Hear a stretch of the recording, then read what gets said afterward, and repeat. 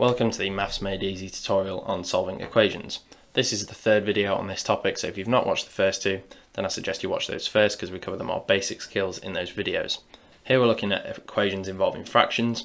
So we have 4x plus 5 over 5, and 8, which is equal to x plus 17 over 3. Uh, so let's rewrite this expression. So we've got 4x plus 5 over 5 is equal to x plus 17 over 3. So as usual, the goal here is to get x on its own, and to do that we need to change these from fractions just into normal expressions. So the way we do that is we multiply by 5 on both sides and multiply by 3 on both sides. So we multiply the denominators of each fraction, uh, or multiply both sides of the equation by the denominators of each fraction, sorry.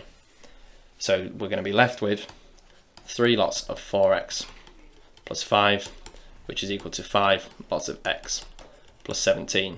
So when we multiply by 3 on this side oh, and uh, 5 on this side, the 5's cancel, so we're left with the 3. And likewise with the other side, when we multiply by 3 and by 5, the 3's cancel, so we're just left with 5. So this is what the next line would look like.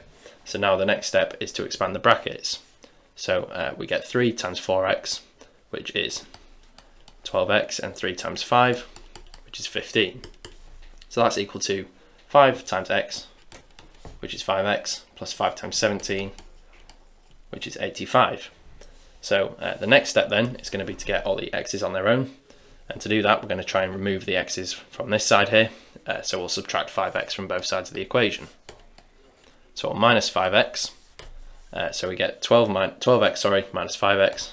So that's 7x uh, plus 15 is equal to, we've removed this 5x now. Uh, so it's just 85 on this side. Now the next step is going to be to get x on its own, or, or the x terms on their own at least. So we'll uh, subtract 15 from both sides. So if we remove 15 from both sides, then we get 7x on its own on this side, and that's going to be equal to 70. And then the last step then is to divide both sides by 7. So if we divide by 7, we're going to be left with x on its own. So x equals 70 divided by 7, which is 10. So our final answer is x equals 10. Solving equations is one of the most fundamental topics, so it's important that you get loads of practice in before your exam.